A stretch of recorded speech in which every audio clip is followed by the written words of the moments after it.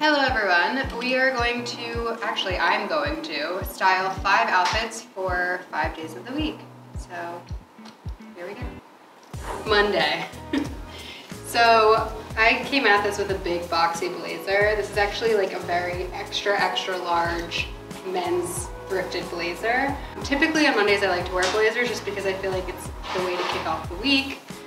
Feel like I'm ready to take it on. I like to wear something just like a little bit over the top. So I have this big, huge blazer on um, that's houndstooth. And then I layered it with this vintage cape just to kind of give it a little bit more detail.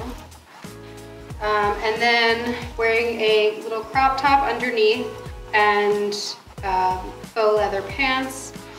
Um, and then I have my like staple silver jewels on and a bunch of rings.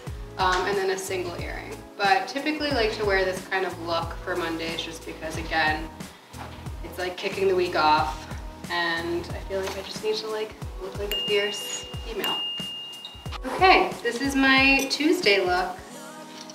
So again, just a little bit more oversized feeling this week.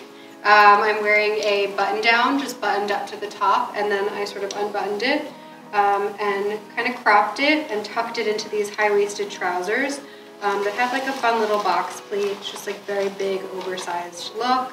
Um, I put the Lola underneath um, the button down just to kind of give it a little cool layered look. And then I paired this quilted vintage jacket on top um, just to kind of make it a little more playful, give it a little bit more texture. It has this really cool um, gold embroidery and just feels layered and fun. Um, I have a single earring on, a lot of rings, and my watch and a little kind of arm party going on. So this is my Tuesday look. So this is Wednesday. So typically I like to smush in a robe in the middle of the week just because it's hump day and it feels nice and cozy. Um, so sometimes I do a kimono, other times I do just like a big kind of oversized coat. I'll wear it as a top. Um, so I've double belted this here with the Michele and the Heather Mooney. And then I've stacked necklaces. Um, I love a little choker stack with mixed with long layers. So I've done this Hadley 2 with the ABCDEFU, and then I have the Zodiac Charm followed by the Winnie long chain with the Vita coin. Um, and always got my rings on and just kept it super simple. So I feel like this look with some boots is the perfect hump day outfit. We have our Thursday outfit.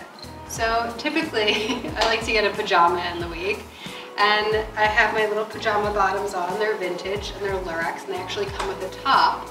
But I decided to switch it out um, this week and do a little just basic sweatshirt just because I love to be cozy.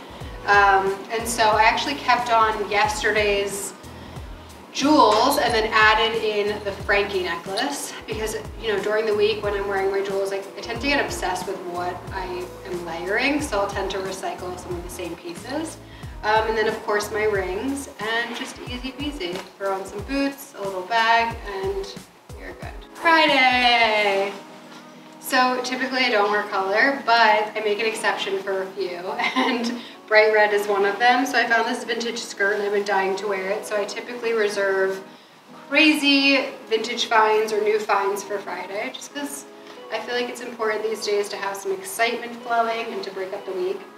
Um, so this vintage skirt is my bottom and then working my way up I have our Dylan Lex tank that's actually a shirt tail hem and I just sort of tucked it under to give it that cropped look. I put our tie belt on backwards um, just to kind of give it a little bit more detail down here since I have the really big over-the-top statement up top. Um, I have some new Valentine's Day pieces that I've layered together, the Aster necklace and the Joey. And then I just threw a little leather jacket on top.